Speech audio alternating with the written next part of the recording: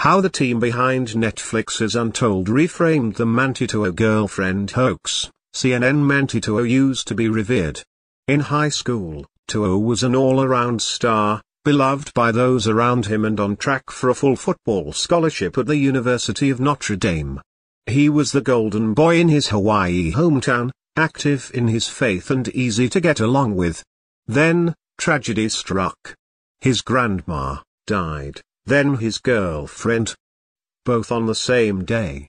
Only, his girlfriend didn't actually die. His girlfriend, the media discovered, didn't even exist. It was a catfish all along with Ronaiah Tuiasosopo, the woman behind the hoax, caught in the middle. Te'o, Tuiasosopo and the elaborate 2013 hoax are the subject of a new two-part documentary, Untold. The Girlfriend Who Didn't Exist, directed by Ryan Duffy and Tony Vainuku, out Tuesday on Netflix. The story of Te'o and his fake girlfriend is a well-known one, but the story of Tuiasosopo, who created the fictional girlfriend as a way to come to terms with her own gender dysphoria, is less so. Tuiasosopo has since come out as a transgender woman. Though audiences may first recognize Te'o's name, the documentary opens with Tuiasosopo. She takes a central role throughout the two episodes, bringing audiences along on her journey of self-discovery and gender identity, shaped in part by her experiences catfishing Te'o. CNN spoke with Maclain Way, who created the Untold series with Brother Chapman, about how the team approached portraying Tuiasosopo's and Te'o's journeys as both synchronous and separate. This conversation has been edited for length and clarity. What made you decide to focus on Manti Te'o and Naya's story specifically? When we got the news that we'd be able to make more Untolds and we'd have a volume 2, this was a story that was on our literal and proverbial whiteboard of sports ideas. It's just always been a white whale in the sports documentary space, it's something that my brother and I remember, very well, just kind of reading the news media on it and all the noise. We reached out to Naya and just had a fascinating conversation with her. It was probably a call that was only going to be 15, 20 minutes, and we ended up talking to her for two hours. And she ran us through just a remarkable journey that she's been on, a journey of self-discovery and self-identity and how she identifies as a trans woman. And then in terms of reaching out to Manti and talking to him, I definitely think a lot of people had approached him about talking about this story over the years. I think there was a pile of documentary pitches sitting in his inbox over the course of the years. I think we caught Manti at a really interesting time in his life. His NFL career was winding down. I doubt that this, would have been a story that he would have commented on or done a really long-form in-depth interview on while he was still active in the NFL. But he just gotten married and just had a kid, and I think for both Naya and Manti, neither were quite happy with how the media at large covered this saga back in 2013. I don't think they wanted that media coverage to be the period at the end of this really long sentence that was a story between these two individuals. And so I think for both of them the opportunity to really interview at length, at deep, about this story was appealing and attractive to them. And for us as filmmakers, that's when we really knew, alright, we have something special here. I think we can go make this documentary film.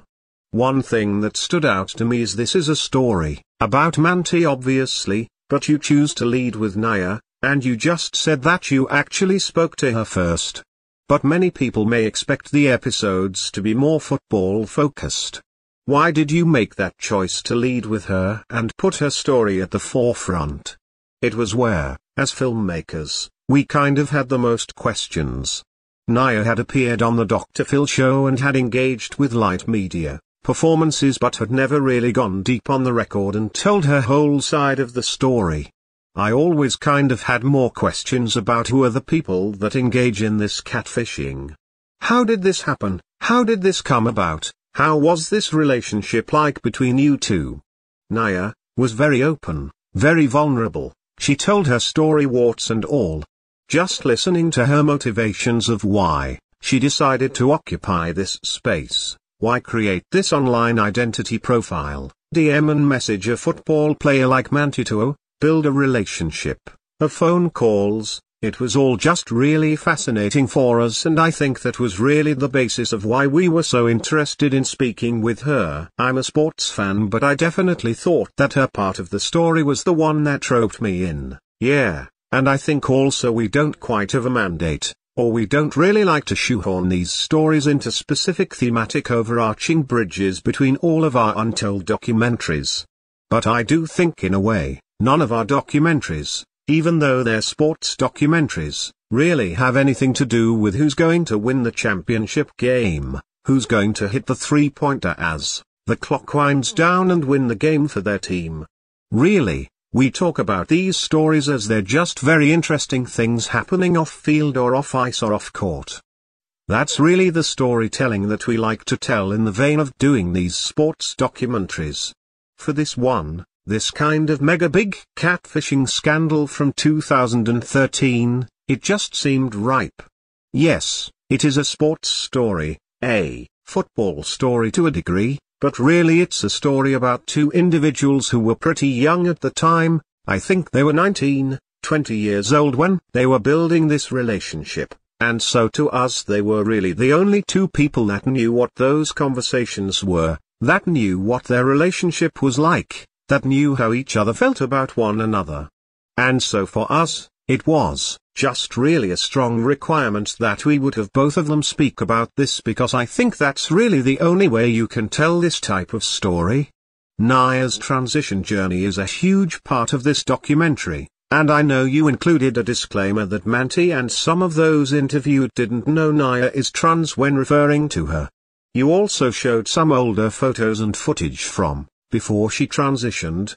I know sometimes those things can be sensitive for a lot of folks. How did you decide to navigate that in the two episodes, particularly for an audience that may not be as familiar with transgender identity and LGBTQ plus issues? I think that the nuanced point to make is that these documentaries take a long time just because they're their own art forms, and a two-part documentary for us took us over two years to make. When we first talked to Naya, the way she spoke about her journey of self-discovery and a journey of self-identity was an evolving process. She now, and we are so encouraging of this, identifies as a proud trans woman. But at the time that we were filming this documentary, her journey was evolving to a degree. So in discussion with her and our team and people that are deeply rooted into LGBTQ matters, we basically had an understanding that it wasn't quite our place as filmmakers to tell others about the complex journey that she was going on. I think if the documentary was starting today, considering where Naya's at, we would probably be in a different point, but at that time, Naya wasn't quite identifying as that.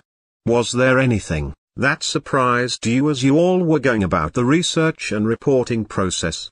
Anything that stuck out that you hadn't been expecting?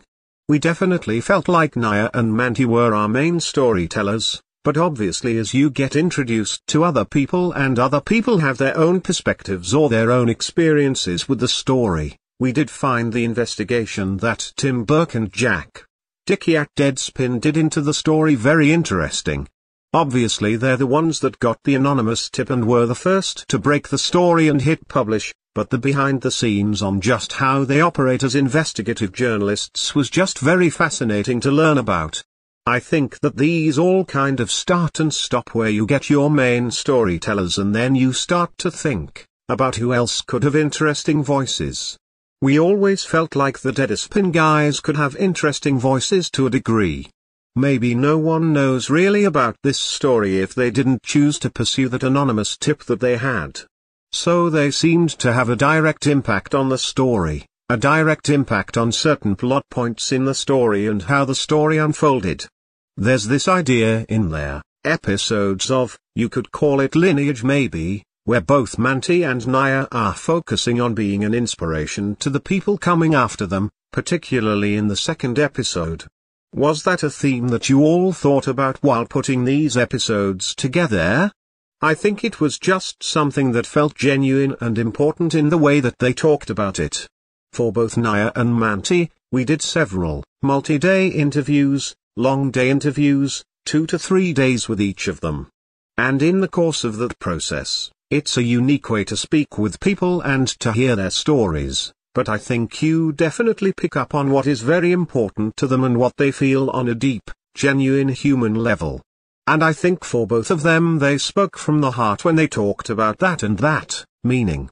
So for us as artists and filmmakers, when you get those interview answers back from your subjects it really is like a guiding light and a star in some way that encourages you to put them in your documentary film. I think